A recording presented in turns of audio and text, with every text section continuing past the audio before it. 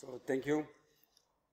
And first of all, before starting uh, my speech, I would like to, to point you to the last line. And whatever I'm saying here is personal and does not reflect in any way what the Commission thinks. Uh, this to make sure I, don't get twittered in the wrong way and get the, the reprimands in Brussels. But of course, if there are questions about what the European Commission is doing, I, I will do my best to, to answer them, but I'm not speaking on behalf of them, and let that be sure. Um, as I also feel the, the, need here to, to say that um, I actually prepared a kind of a short speech for a small audience because I was invited here twice uh, in the academy as one of the think tanks in a small meeting rooms in the back, and I thought it was something similar. So then I see this today and I say, oh my God, sorry. I made a bit of an underestimation of the, the quality of the audience, so I hope you, you will forgive me there. But anyway, let's try to, to see what we can do here. And um, uh, as, as the previous speaker uh, said, I will try to I, will try to stay in the same spirit, be frank, and, and try to be factual at the same time. Uh, he deplored that our commissioner, who is the Irish person he was mentioning, um, is not here today. But can I a little bit come in, in, your direction by saying if she would have been here, the speech that she would have given is the one I would have written. So in a certain sense, you have her here. And, and secondly, uh, I, am sure that on all the delicate questions, he will probably answer very diplomatically, and I will try to be a bit more uh, to, the, to the point. Let's, let me put it this way. So I will talk you, to you about what, what our how our technology is changing the way of, of, of doing research and science. It's a trend analysis, and every trend analysis, as you know, every for, forward-looking, every foresight exercise is always uh, subject to enormous uh, criticism and speculation. And and I'm sure that given the, special, the specialists in this room and on, on, every example I give, you will be able to give some counterfactual uh, example. But that's not the point. The point is really to understand uh, what, what is changing in, in, in, the business of science and research and how will it affect, and that's my personal uh, commitment as, as, uh, as bureaucrat now, how will it affect science policy in general and then, of course, publishing uh, in particular. As was mentioned by the, by the, by the introduction, I, I, I, used to be in active science until four years ago. So a lot of what I'm saying is based on, on the experience I had, starting from the dark ages when I made my PhD, uh, when there was no internet, uh, to, to, to, to where we are today. And, and, I, and I personally believe that, uh, as, as the previous speaker, speaker has been said, that the past was, uh, was quite okay, the present is a bit turbulent, and, and I think the future will be fantastic. Contrary to the, to the present, to the previous speaker, I think we are only at the beginning of what you will see possible in terms of modus operandi in, in science and research. And as a consequence, you're only at the beginning of how I think publishing will have to follow. So for, for me, open access is only the beginning, and I agree with you, the green thing is, is really a joke. But, but the gold open access is only the beginning of what might become a much more deeper trend, if at all we, what, what some of the analysis we will be presenting here is, is, is correct. So that's the, that's the, the tenure, the, the, the, spirit of, of, of what we, of what I'm trying to say today. And uh, if, if you look at it, if you look at it from your personal history, and there are a lot of researchers here, I mean, when I made my PhD, you had to go to the library, you have to, to you know, in these fishes, your hand, with, with, your hand, you had to collect all these fishes, you had to write them over, submit them to some guy who was not at all interested in helping you for the books and the, and, and, and the journals, then half of them did not arrive, never arrived. You compiled your state of the art after six months, went to your promoter who was hardly interested in what you were doing to ask her advice. In my case, it was her. Then you, come, you start collecting your data, write them over, process them, handwritten, decode them, handwritten, make your graphs handwritten, and then you publish the whole thing somewhere in, in, a, in a copy uh, center uh, completely unreadable with thousands of footnotes. It takes you about four years. Now you can do the whole thing now, and then you try to, to publish it. You, you try to find some obscure journal, peer-reviewed journal who is the first one to publish it. it. Takes you two years. Then your first plenary speech, another two years, and, and off you go for uh, starting helping other people doing PhDs. Now, if you, if you look at it today, 25 years, 30 years later, it's fantastic for a young researcher. I can do the same state of the art of whatever I want to research in a week, so to speak, if I use the tools available. I can find around the world advice on, on my hypothesis uh, from whoever is interested to join me in whatever forum that is available, rather than waiting for a board promoter. Uh, in my case, who, who, who is not interested in the topic anyway, but has to do it because, you know, she needs so, so many PhDs to, to, for the statistics of the faculty. Now, you can, you can publish your results in hundreds of outlets. There are several platforms, dozens of platforms in whatever subdiscipline. There are dozens of conferences in whatever subdiscipline. So immediately, even before you have published your results, you can go out in the real world and, and, and test them. And, and, rather than taking 10 years to be uh, at, at, the cycle uh, of what I was just describing, in three, four years you are as far.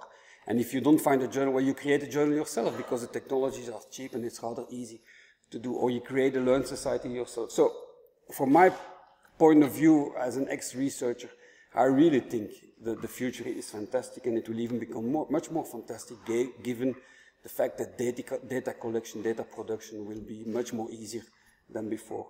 And in, certain, in a certain way, and that's the end, that's already the conclusion, it will probably liberate much more of our creativity for what is really the issue, namely thinking and, and getting the right questions.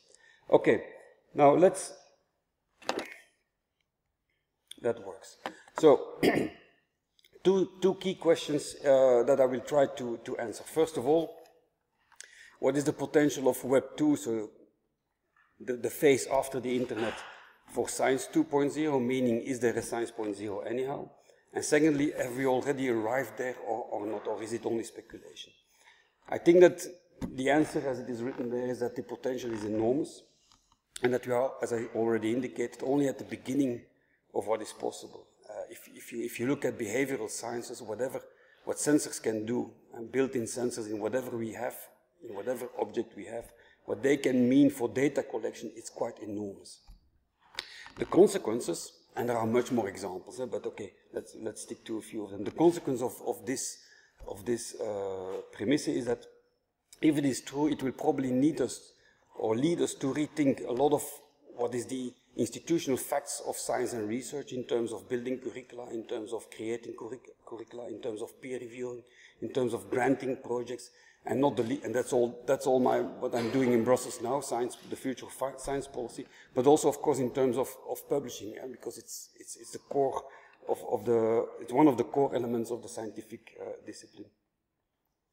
So that's that's that's the the, the the the ground idea of the speech. Now, if you if you shop around and, and you, you you start thinking of what what is possible today based on the internet in the first place and Web, Web 2 technologies in the second place. Well, you have a kind of a, a nice graph, a nice uh, a picture there which gives you not, not at all the full exhaustive uh, uh, potential of whatever is, is, is, possible, but a lot of the things that you see there are quite new, or let's say from the last 10 to 15 years.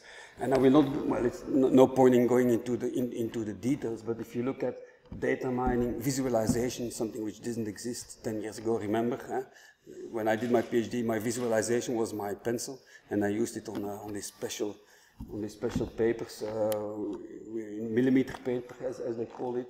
You have 3D labs, virtual labs, big data.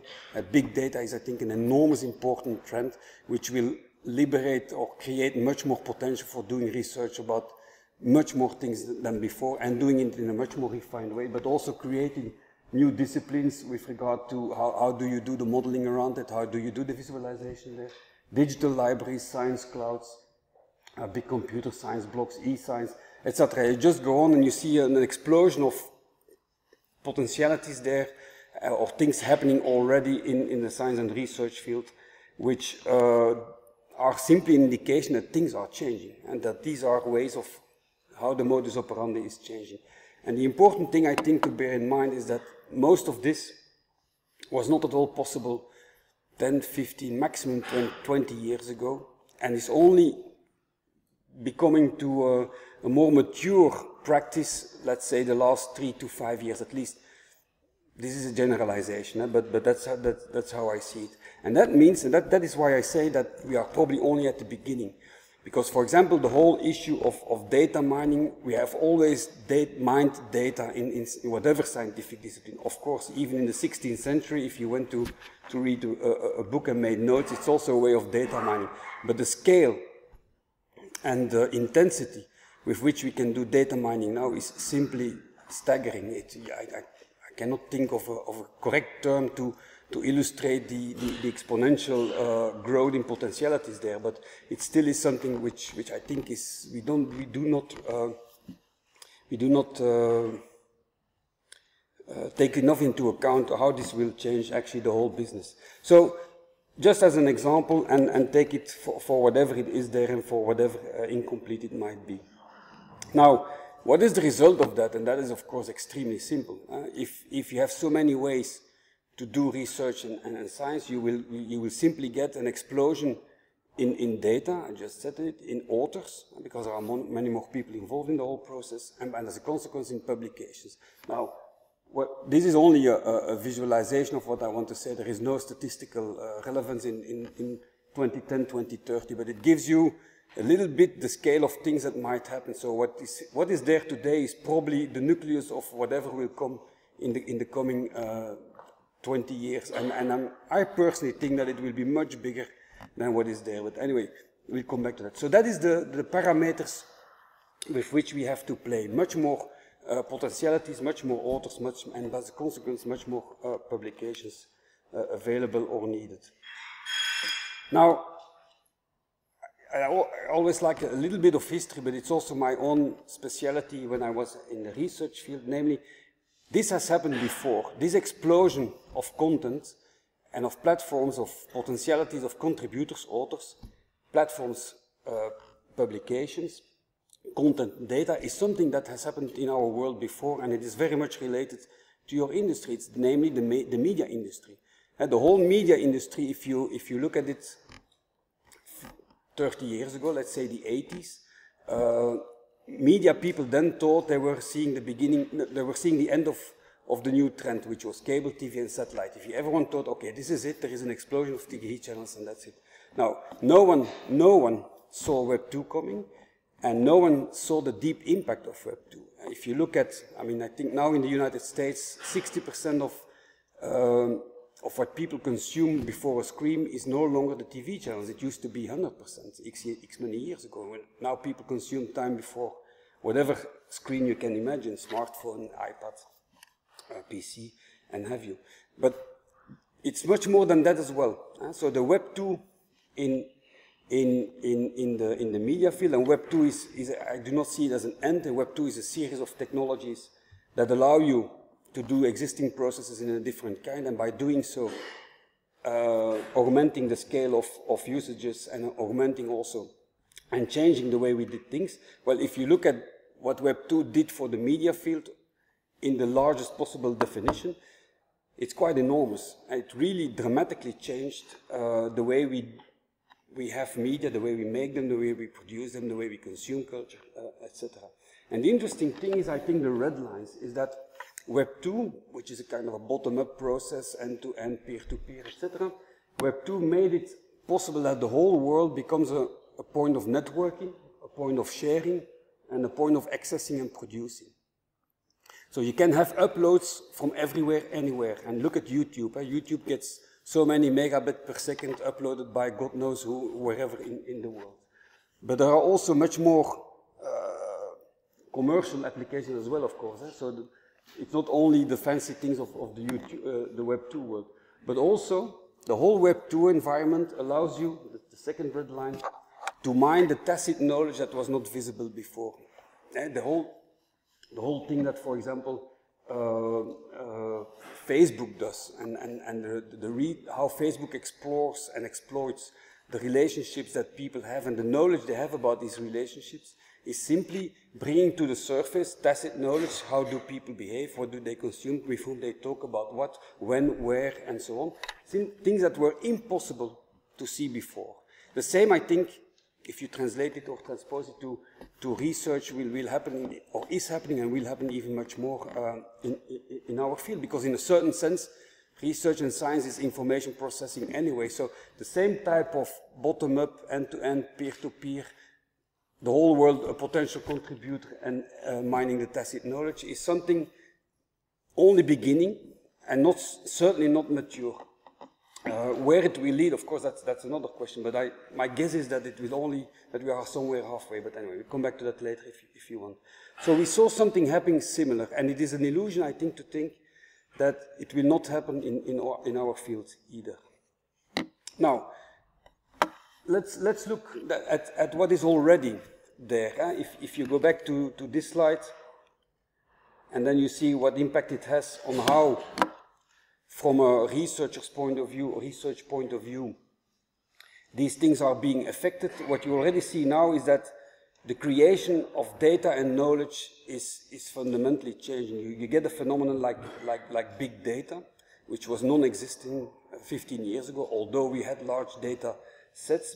Big data, the fact that everything can become an entry point for a data collection, or that every sensor is actually a, a, data generator, is something extraordinarily new and extraordinarily uh, interesting for whoever does research, because it gives you remember tacit knowledge that was not visible before, it suddenly opens up ways uh, and, and fields to investigate which were simply not possible. And I, I, do know, for example, that in, in, MIT there are a lot of interesting projects going on on how to use mobile phones, not not, not the communication on mobile phones, but the sensors in the mobile phone as an indicator for what people are doing, how to use them in, in health prevention, something which was unthinkable uh, 10 to 15 years ago. So big data is, is there to stay and the trend to ambient intelligence, you know, our whole environment will be uh, in, uh, surrounded by intelligent, proactive uh, ICTs, will only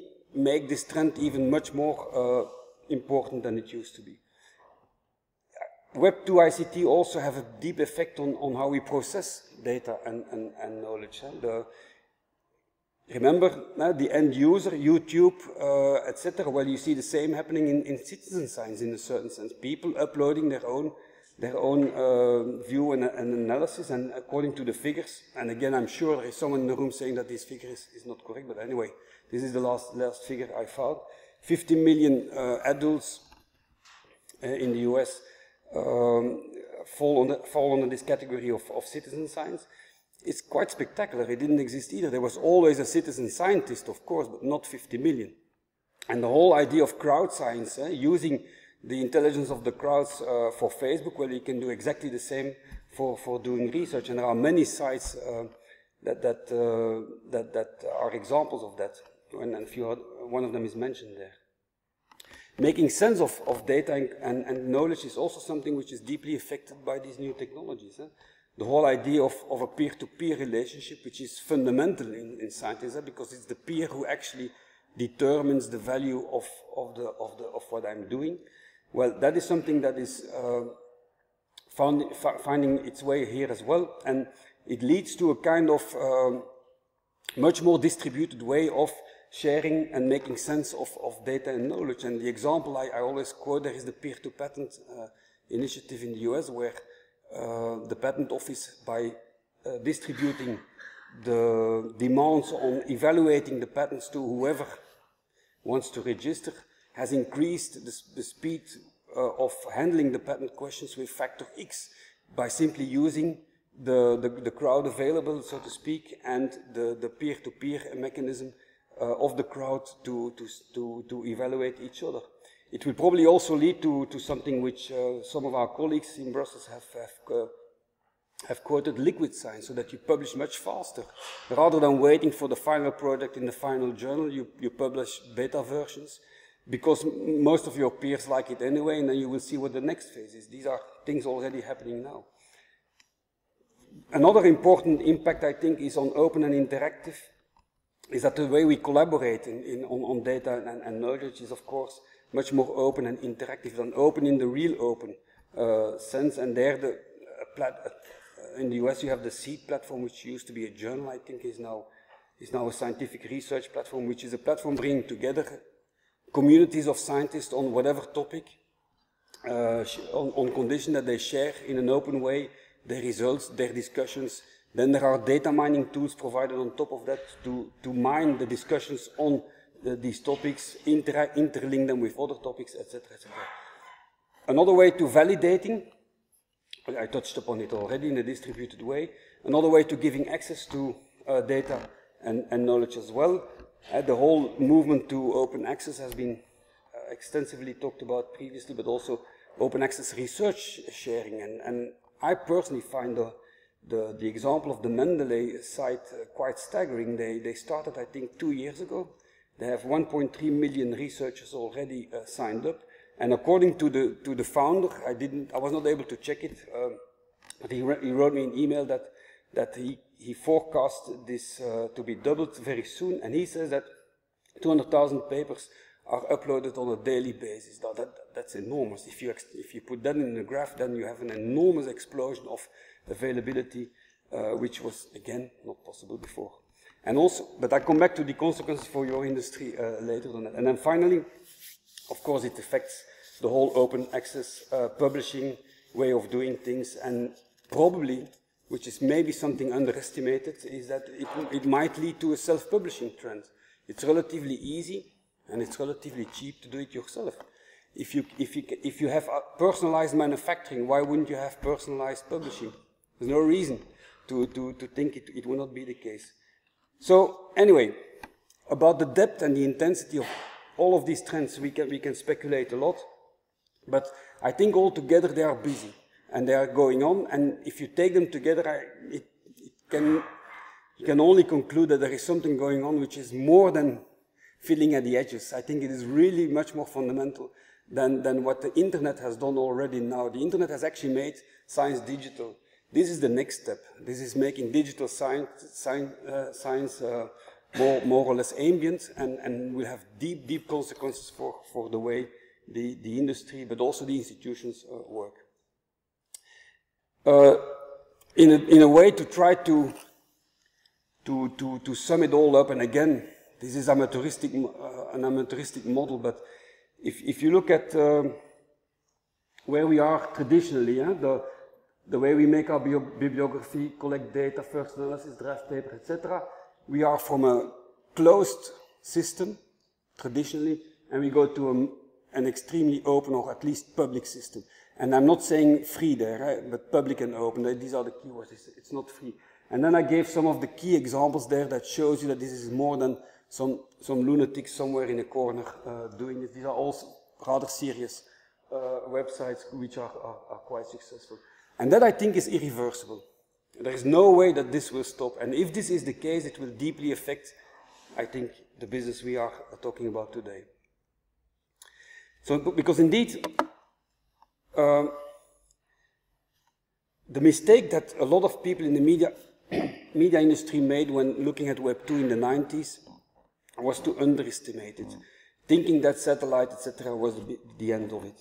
Well, just as, as we argued, then I think we can make a strong case there that what I've been describing is only the beginning. Why? First of all, because um, there are very low entry costs uh, associated by doing these things. It's extremely cheap to make a blog. It's extremely cheap to create an online journal.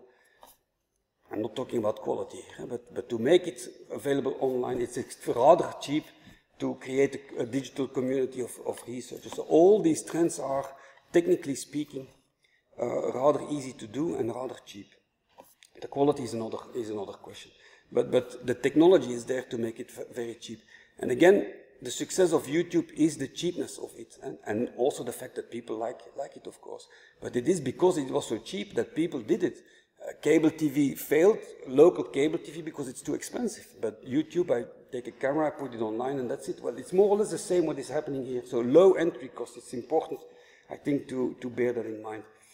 And then secondly, and that is of course the, the corollarium to the, the technological uh, capability, low entry costs fine, but who is going to pay? Is it viable? Well, there, again, I think we can learn something from what, what happened in, in, in, Web 2 is that thanks to the brilliance, I, I, I'm, i have to say, without being uh, making publicity for Google, but thanks to the brilliance of the Google advertising uh, technologies, which allow you to have a quasi micro business models because you can target very precisely who is looking to what, and as a consequence, attract very precisely uh, publications, um, publicity.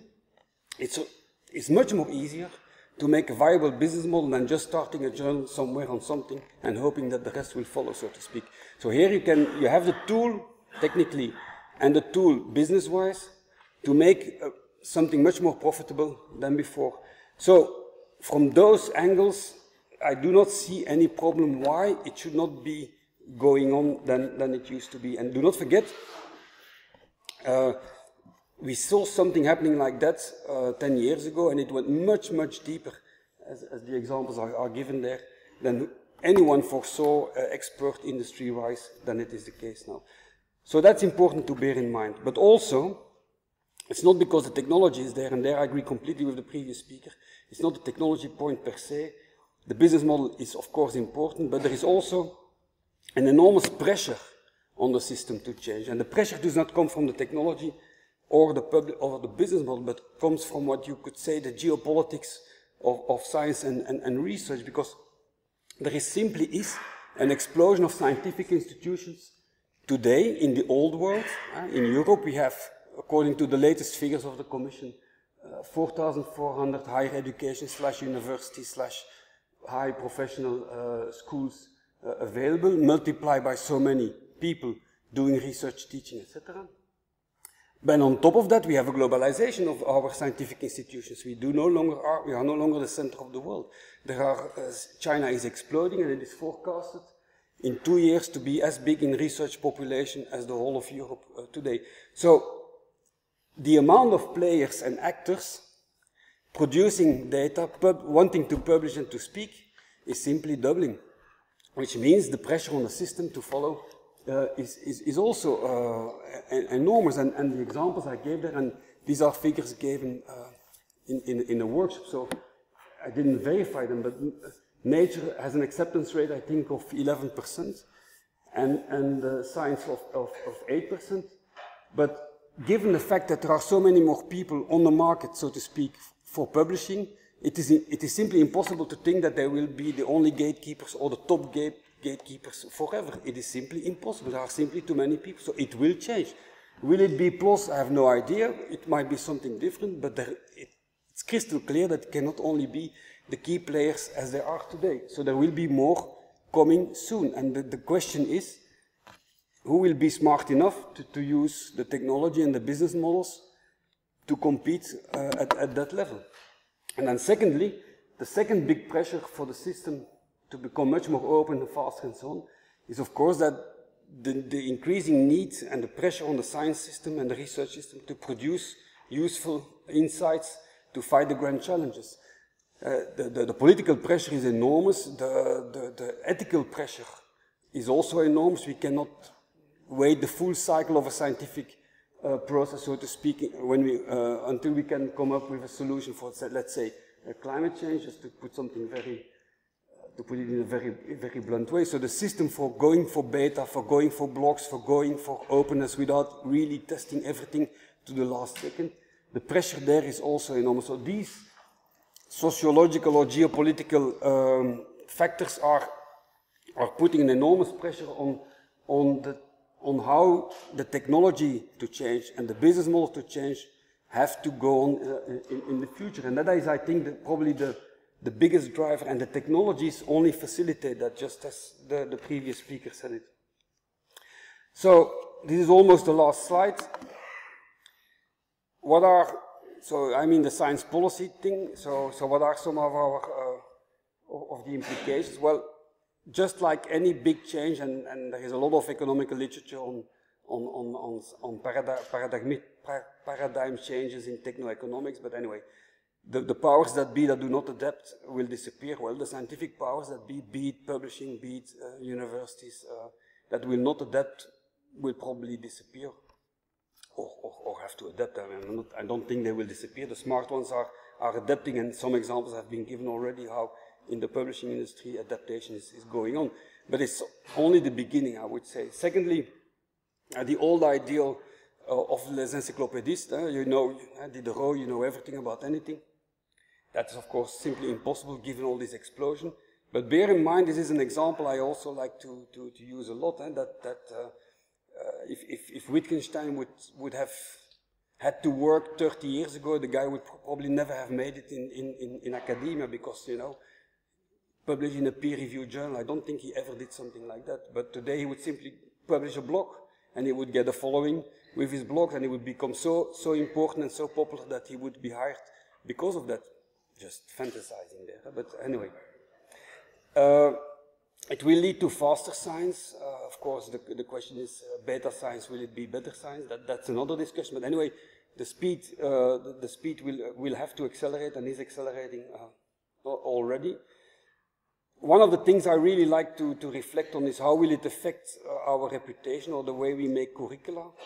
Because there is so much possible, there is so much platforms possible to publish and to speak, that in the end, now, what I'm going to say now is really superficial and is really a little bit overdoing it, but in the end, anyone can make a curriculum of 100 articles and 10 or 15 keynote speeches because there is some, always something going on somewhere where they ask you. So, so in a certain in a certain respect, it simply is too much to follow. And I think it is interesting to to in that respect to to reflect deeply about what the, if I'm correct, the Deutsche Forschungsgesellschaft has has decided that when you submit a proposal, rather than going for your top uh, rated uh, uh, articles, they ask you as researcher, well, give me the five uh, most important publications, regardless of where you publish them, for the, for the topic you submitted. And then the evaluators read only that because no way you can read. I've been an evaluator myself at the commission. I mean, no way you can read all these CVs. It's quasi impossible. Now, if that is, if that becomes a model, it means that the importance of highly high impact journals will change because the, the, you as an author determine actually what you think has the highest impact for the topic you, you, you mentioned. And if DFG and other enormous, uh, importantly, research funders start applicating that system, it changes completely the, the, the sociology of, of, of, of, of, of high impact journals, so to speak. So I'm not saying it will disappear, but it completely changes the game of why everyone needs, uh, desperately needs to, to, publish in the top, in the top journals, because if that, that gets generalized, it will probably disappear. Anyway, uh, so how important will nature remain? Uh, do we need new gatekeepers? Uh, will, will, the success of a blog be as important in the future than, than, than, the, success, than the, the amount of articles you publish in the high impact journals? Why not? You can easily predict that in, in 20 years you, it's much more important that you have a folder that people read your stuff on your blog than that you publish it somewhere uh, you think of more Creative Commons, probably more, more citizen science, uh, probably data visualization will become extremely important uh, as, as, a new language and as a new skill.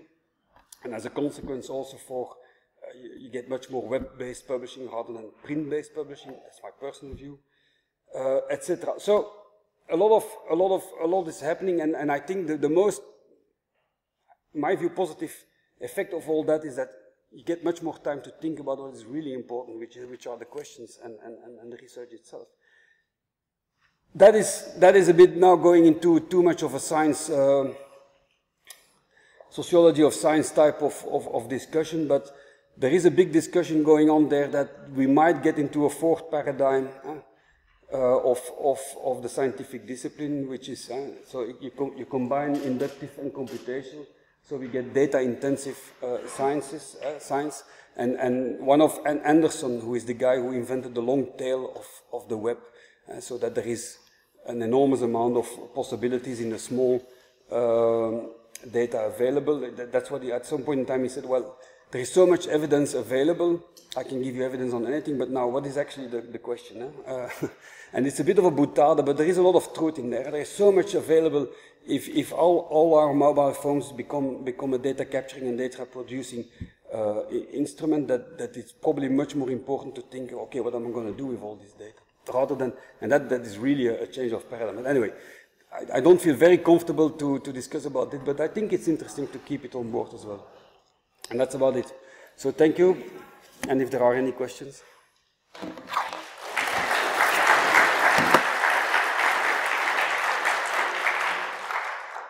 So, do we have any questions? Um, can I remind you to stand up, say your name and affiliation when the microphone reaches you? And we have somebody right here at the front.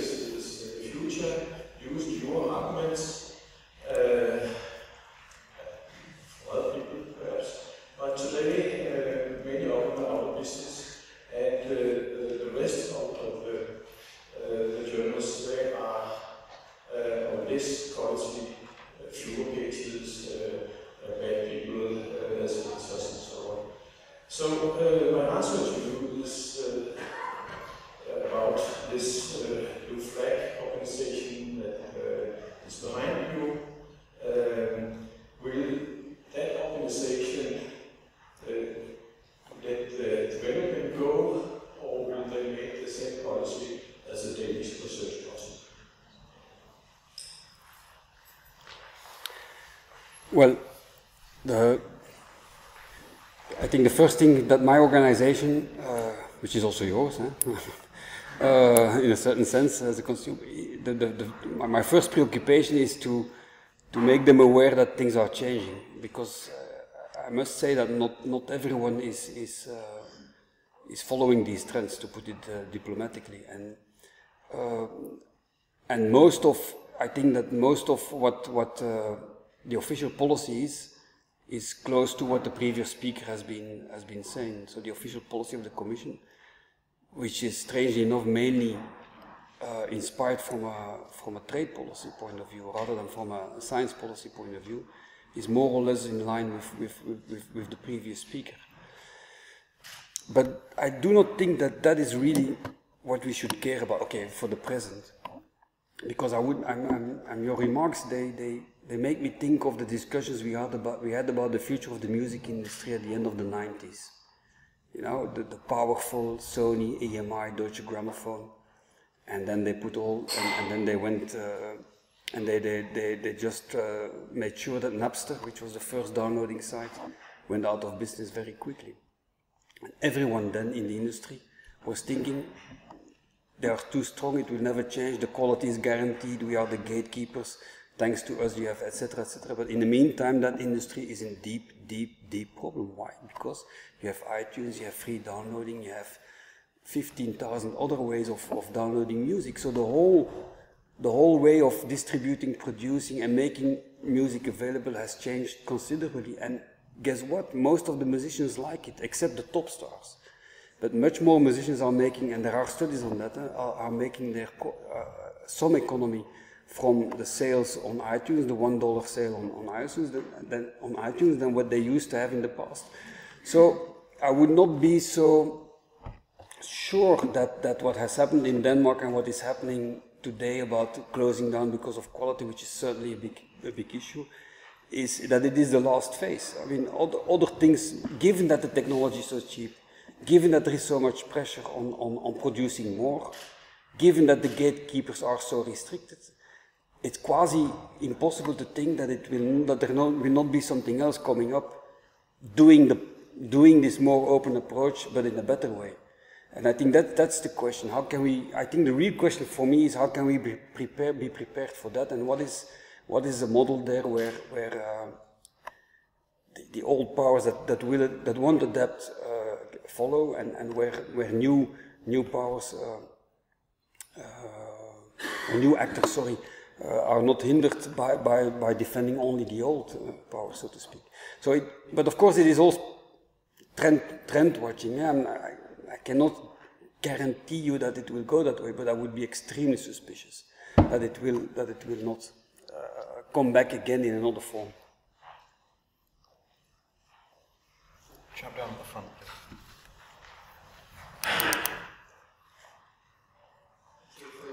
So Kieler from Europe, um, uh, the advice of uh, Jan Hankos to us as publishers to focus on our core business, to organize, distribute content.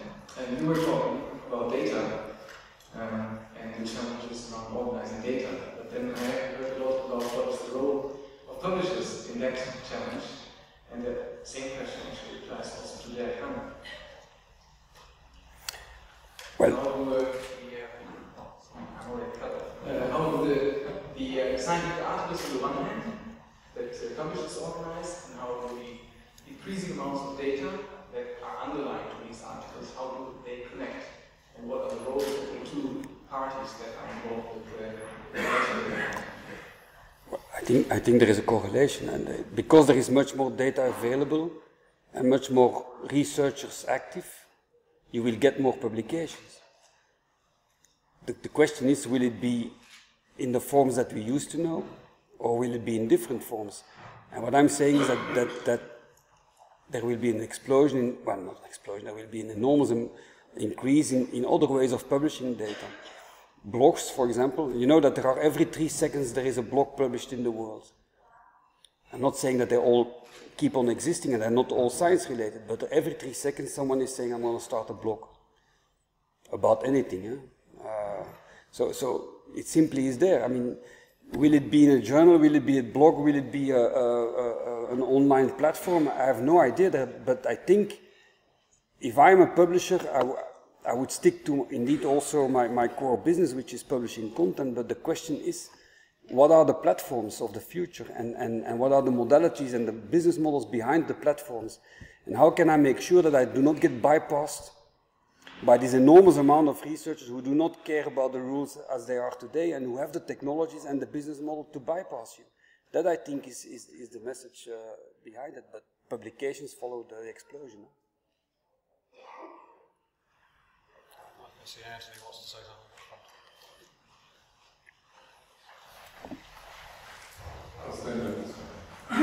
Anthony Watkinson, CIBER Research, University College London. Um, bypassing, yes.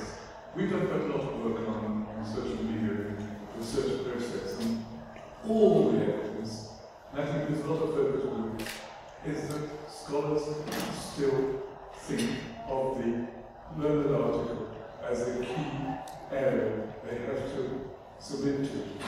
They're interested in law, but less so actually they used to be probably. They're very interested in data. My question is, how do you give credit for data collection? This is a great deal of pressure from the data area to get credit. Credit, um, and how do we manage to set up a system whereby instead of just getting credit for putting things into copy and back service, we get credit for building up the data.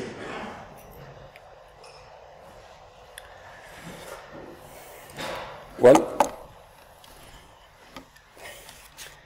I mean, I'm a bit pushed in the role of futurist, which I actually do not really like all the time. But, but okay, for the sake of the game, let, let, let's, let me be the, the American futurist. Huh? Uh, so uh, I personally think that data collecting will become a scientific discipline recognized in itself. And that you will be able to make your career only by collecting data and nothing else. So I will be the guy, so to speak, who makes sure that uh, health-related issues you can collect with mobile phones are published on some platform somewhere. And I will be able to be a professor on that, and, and I will be able to get credit for that, which is not the case now. But the discipline will become so important that it might become uh, an institutional reality in itself. Just like, just like um, statistics, in a certain sense, uh, became a discipline in itself. If you go back, I'm sure that in, in, in, in- the 19th century, the discussion about is statistics a, a scientific discipline or not is probably the same, or it's only putting data in a row, so to speak.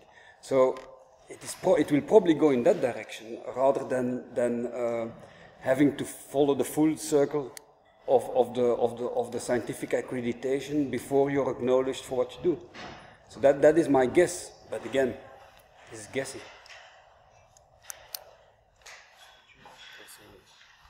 Oh, Fred, Fred Dylla. Hello, American Institute of Physics. I'd like to comment on your observation that proposals being submitted to DFG now only one in five publications. You made a remark that you thought this would have a negative impact on a high-branded uh, journals such as Science and Nature, the first-tier journals that are represented by many of the publishers in this room. I should think the opposite is true when a scientist submits a proposal, it's a very competitive business, and you want to make sure those five publications count. And it's very important they meet tier one journals. I think as publishers, most important thing we do is to bring these very high impact, very competitive journals to the marketplace, where we run a good independent peer review that's not connected to funding agencies. It's not connected to academia. And I don't think new models of publishing would replace that fundamental value. I didn't say negative. I, I, I think I, I, said, and if, if not, well, that's what I wanted to say. I think uh, that the, the, power game is changing in that system. Um, because as far as I understood it, if I submit a proposal, I list the five most important articles I consider in that discipline, in that topic, nature or not. If that is respect, if the game is respected by the evaluators, that they really only look at, at, at what I've written rather than where I've published it, if that is indeed happening, then it changes. Now, if implicitly the evaluator assumes that of those five, and there is no top uh, of highest rating impact journal present, it can't be a good proposal, then the whole system falls apart. Of course. So, but, but, but let's also think, let's also think at it from another side. There are 800 published journal, uh, articles in Nature. And there are, say, I think it's 1100 in, in Science per year. So that means 2000 articles worldwide in the top two journals. It simply is too small for, this, for the whole discipline. It simply cannot, ca cannot uh, be sustainable. I mean, sustainable, not sustainable. It simply cannot be so that this will go on for another 20 years. There might be other natures, there might become much more natures, there might be, I don't know what will happen, but, but to assume that that will be the main gatekeepers and eh, the powers that be should adapt, I think is a little bit uh, not looking enough at the dynamics behind the scientific uh, institutions.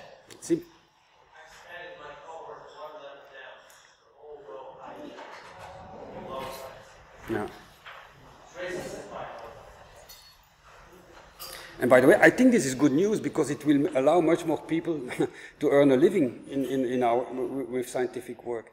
If, the, if you get more journals, platforms, uh, aggregations of blogs and so on, so I, I do not see the bad news there, of course. I think it is worth saying that the journal system is not static in the sense that the number of journals grows at about 3.5% per annum by title, and the number of articles grows by about 3 or 4%. So some of the things that you're saying are accommodated within the system. But um, I could see my colleague at Nature wanting to make a remark. Did you want to say something? Right here at the back. Um, David Hall, Nature Group. Um, I'm not going to get into any details now, but I'd just like to extend an invitation to useful visitors in London and Nature Publishing Group to see what we're doing and seeing how we work and, and uh, sort out some of the details and some of the data um, as well. Because I think we are doing an awful lot to um, sort of interesting future-proof and, uh, and, and we'll be looking to really build on peer review, which is one thing that we've uh, not mentioned. So I would uh, definitely like to invite you to come visit us and learn more about what nature does. Well, you know, I, I know your editor-in-chief quite well, Campbell. So the first time I give this presentation was, was, was with him, and, and I didn't see him in the room, so I thought, okay, I'm going to say it about nature. uh, otherwise, I would have taken science uh, because the editor. But the point is not, the, I mean, it's of course, you, you use, you, we use nature as an emblematic thing for, for what is going on. It, it is not, has nothing to do with nature per se, of course, and, and what you're doing is very much advanced and, and the data mining is, is extremely impressive and, and the platforms you offer. But that is, that is not the point. I'm going to use my chair's privilege to bring this to a halt, but before I do, I have one question which is perhaps a little unfair because you did say you were speaking in a personal capacity rather than for the Commission. But I did notice that at one point, and I hope I'm not misquoting you, you said green is a joke.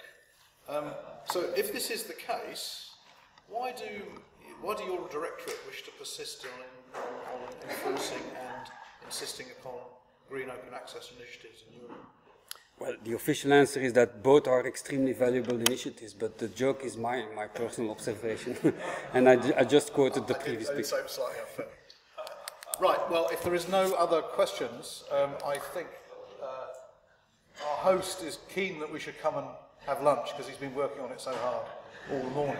You have any housekeeping remarks? Yes. But, but firstly, can we thank Professor Burgelman for his talk?